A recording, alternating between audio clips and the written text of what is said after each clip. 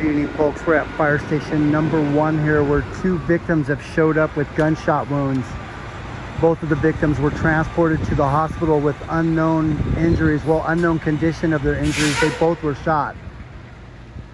You can see the bullet holes right there through the window.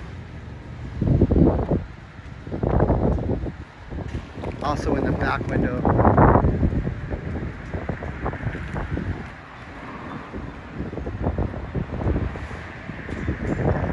So once again, a drive-by shooting, two gunshot victims, both of them transported to the hospital in unknown condition. That's gonna be all the information that we have at this time. I'm Jeff Arganda reporting for Mohave Valley Daily News live local in Bullhead City.